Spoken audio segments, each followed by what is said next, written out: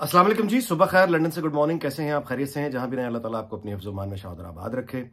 तो बात करते हैं सुप्रीम कोर्ट में आज वही समात जो आ, पंजाब से इलेक्शन से मुतलक समात क्या तो एक तमाशा है जैसे कोई क्रिकेट का मैच होता है जैसे कोई फुटबॉल का मैच। तमाशा एक पूरी लोग जो है एंटरटेनमेंट के लिए देखते हैं। सुप्रीम कोर्ट बुनियादी तौर पर जस्टिस उमर अता बंदयाल और उसके वो जो दो साथी हैं इन तीनों ने अब उसको बुनियादी तौर पे एक नुमाइश की चीज़, यानी एक तमाशा, एक सर्कस बना दिया है, जहाँ मीडिया जो है वो बॉल टू बॉल किसी तमाशे की इंटरव्यू कमेंट्री कर रहा होता है। वो बिल्कुल वो अब सुप्रीम कोर्ट पाकिस्तान का, अदल का, ऐवान का, आइन का, इससे कोई ताल्लुक ही नहीं रह गया।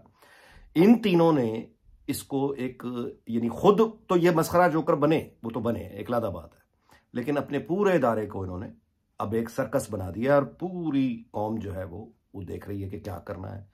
इस पर कुछ बात करते हैं। जस्टिस काजी फायज ईसा ने आज एक तकरीब में वो वो गए, मौजूद थे और वहाँ उनसे कुछ सवाल जवाब हुए और उन्होंने जवाब देने शुरू कर दिए बरह रास्त बैठ के और तमाम टेलीविज़न स्क्रीन पर ये खिताब जो है नशर हुआ।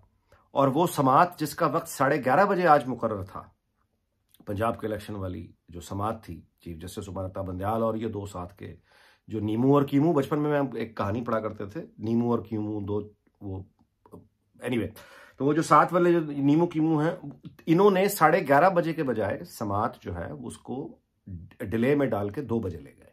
क्यों?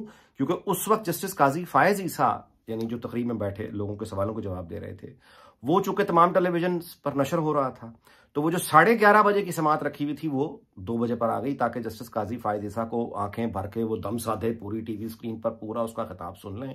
जब जब ये वाली तकरीब खत्म होगी तो उसके बाद हम अगली समात शुरू करेंगे। अंदाज़ा लगाएँ, ये हो रहा है जस्टिस एडमिनिस्टर, ये ये हो रहा है, ये अदल है, ये अदल है। टेलीविज़न, सोशल मीडिया ये सियासतें, ये ये ये अदल है। अच्छा इस पर गुफ्तु करते हैं और फिर वो होनहार नौजवान है रिपोर्टर हसन अयूब खान। उसकी एक खबर है कि जनरल फैज जो हैं सबक D G I S I वो मौजूदा अस्करी क्यादत के साथ उन्होंने हाथ खड़े कर दिए वाइट फ्लैग, और ये भी कह दिया कि इमरान खान मंसूबे से मेरा कोई ताल्लुक नहीं था। मतलब ज़ाहिर है कि यही उम्मीद थी कि यही मामला होना है कि आखिरकार इन लोगों ने यही कहना होता है कि मैं तो हुक्म पे अमल दरामद कर रहा था। Chief of staff chief of army staff general Bajwa था। उसने मुझे ऑर्डर दिए थे। मैं उसे कैरी ऑन कर रहा था। तो वो यहाँ तक बात आ गई है। इस पर भी बात करते हैं। तो लेकिन ज़ाहिर है कि शुरू वहीं से करेंगे कि सुप्रीम कोर्ट में आज जो कुछ हुआ, एक ऐसा तमाशा नाकाबिल यकीन तमाशा है। मैं आपसे गुजारिश करूँ, नाकाबिल यकीन तमाशा है।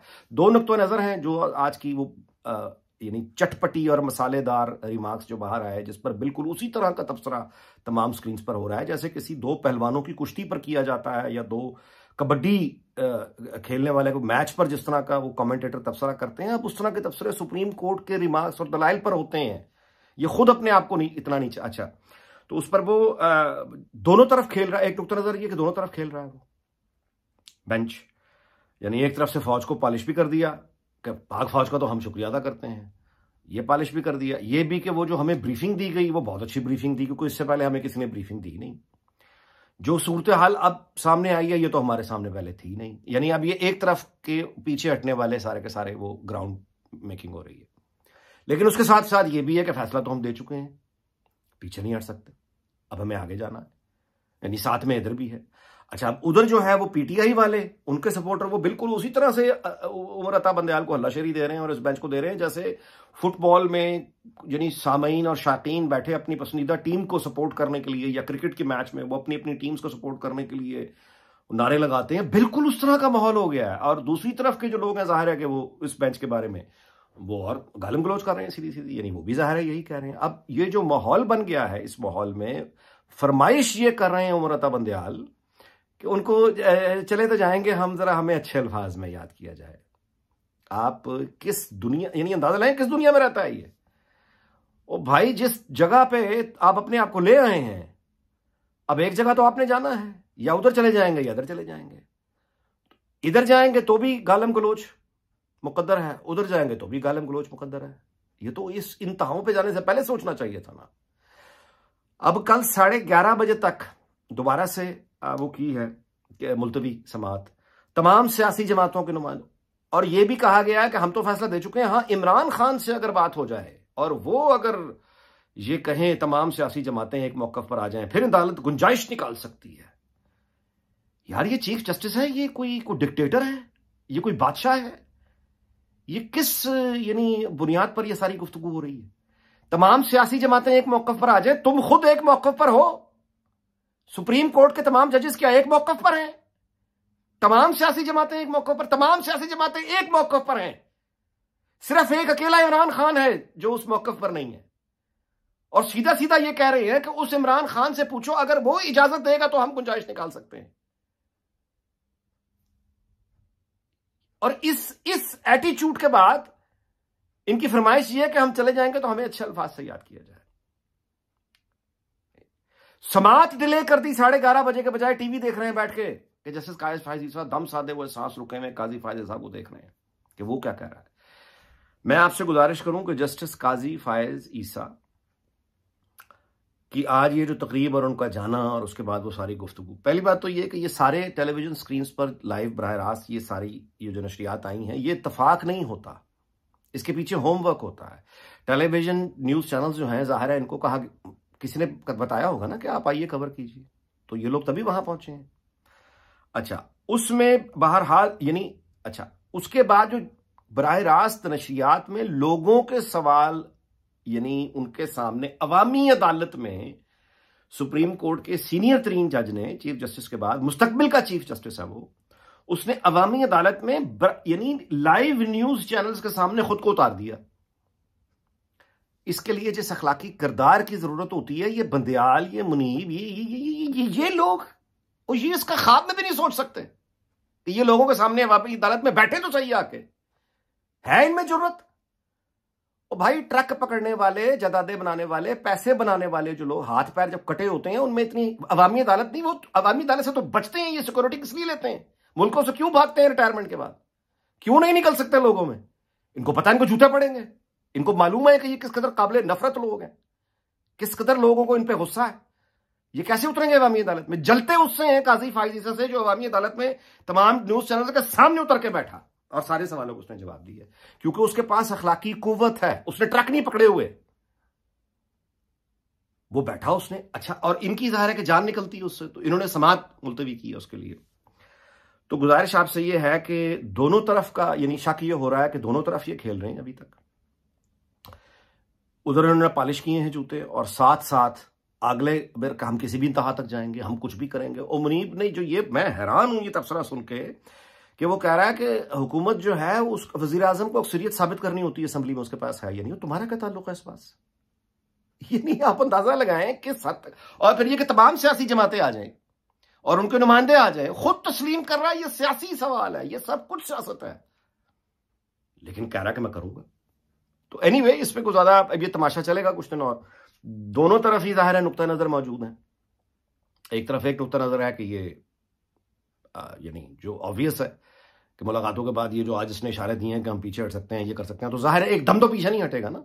मजीद अजियत देगा मजीद चीज़ों को खींचेगा मजीद आर्टिफिशियल अपने आप को टार्जन बनाएगा और उसके बाद फिर जाके कोई बहाना फेस सेविंग का रास्ता यानी निकाल कर अपनी लेगेसी बनाने का चक्कर है ना लेगेसी तो उसमें कोई ना कोई रास्ता निकाल के, एक तो ये नुकता नज़र है कि ये पीछे हो जाएगा और उसके बाद यानी दूसरा, अगर ये आके टक्कर मारना चाहता है तो अब ये बिल्कुल ही जितने भी मेरे दोस्त हैं, वकील हैं, मैं उनसे यानी मतलब है गुफ्तगु के बाद ये बात कर रहा हूँ कि तोहिन अदालत में शहबाज शरीफ को फारग अगर ये करना चाहता है तो उस पर लॉजिक तो है नहीं।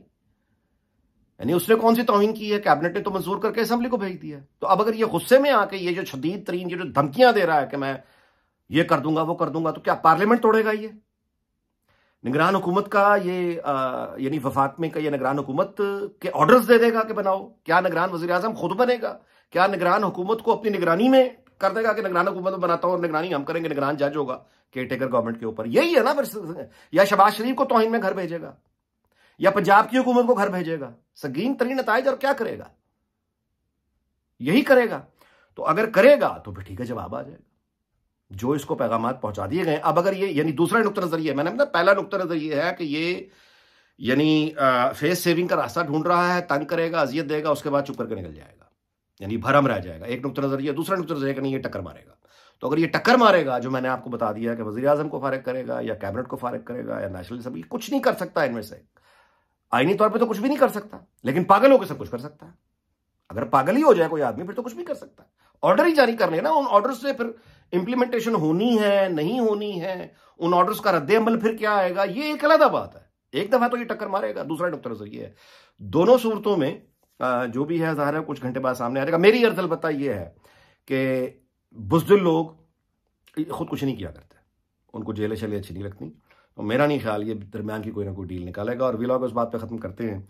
कि वो स्टोरी जो हसन अयूब खान की है इतफाक है जी इतफाक की बात है। मैं कल ही के वीलॉग में ये अर्ज़ कर रहा था कि ये तमाम सोशल मीडिया पे भोंकते हुए लोग जिनको हल्ला शरी दी जाती है कि जाओ और पढ़ जाओ। कल मैंने ट्वीट भी किया था व्लॉग में भी इस बात का ज़िक्र किया था कि ये जो हल्ला शरी देने वाले लोग होते हैं, ये हर दौर में होते हैं। जनरल जयाउल हक के दौर में जो थे, उनकी मैंने मिसाल कल नाम के साथ बता दी थी ट्वीट भी कर दिए थे।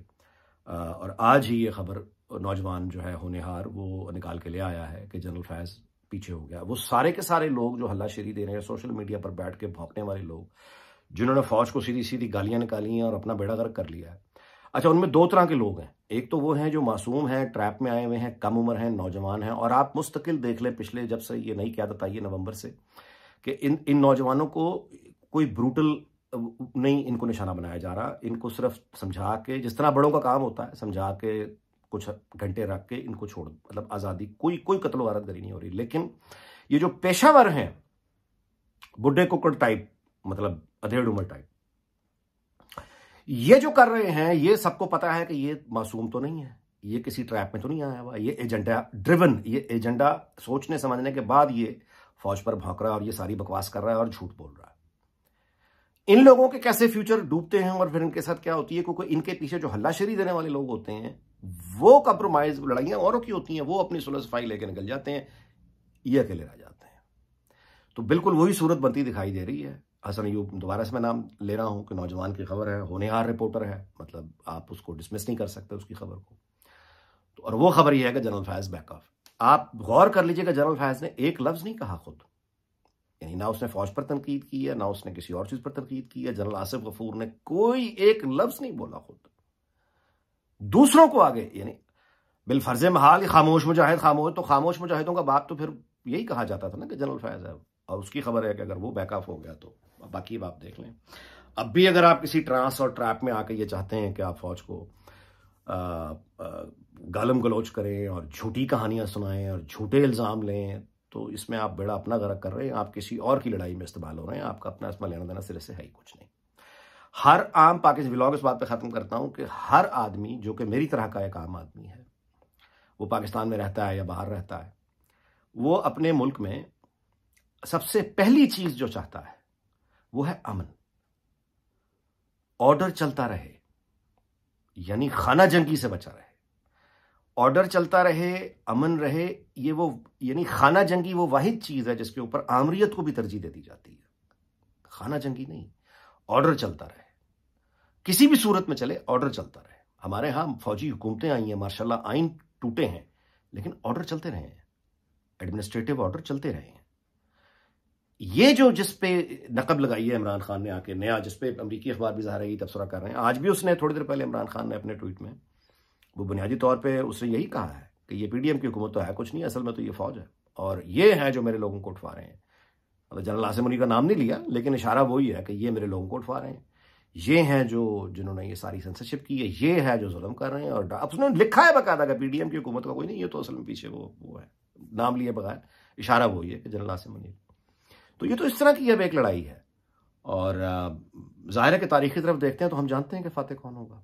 इस दुआ के साथ कि अल्लाह ताला पाकिस्तान उसके तमाम हमसायों, दुनिया भर को शादर आबाद रखे। आपसे इजाज़त चाहता हूँ, कल मुलाकात होगी। अगले भी लोग में मुलाकात होगी। अपना ख्याल रखिएगा। अल्लाह